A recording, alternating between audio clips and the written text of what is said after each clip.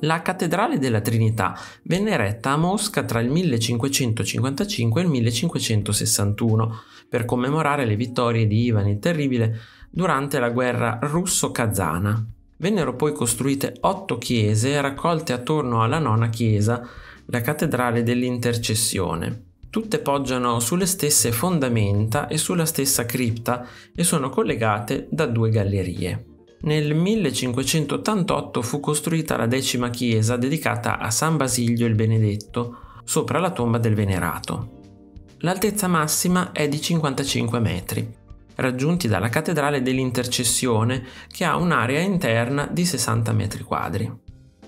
I materiali da costruzione usati sono mattoni, pietre, legno per le strutture, stucco, ceramica e stagno dorato per le decorazioni.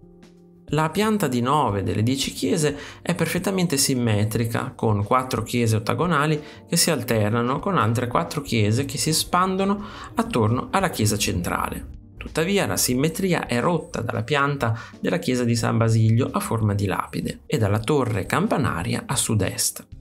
Grazie ai registri religiosi sappiamo che la chiesa centrale, la cattedrale dell'Intercessione, venne completata per ultima il 29 giugno 1561. La sagoma della chiesa ricorda un falò con le fiamme che si levano verso il cielo. È in stile bizantino, tuttavia è totalmente diversa da qualsiasi altro edificio russo del precedente millennio o anche solo bizantino. È un mix alquanto bizzarro di influenze stilistiche, tra cui le tradizioni russe degli edifici in legno e pietra, con elementi di architettura italiana e greca.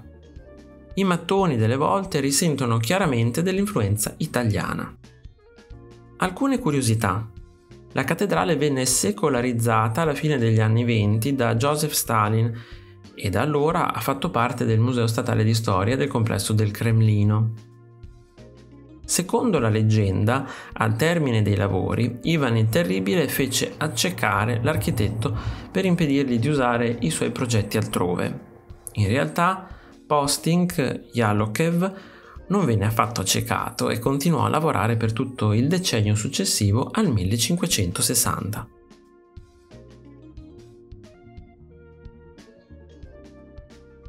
Se ti è piaciuto il video iscriviti al canale, lascia like e condividilo con i tuoi amici.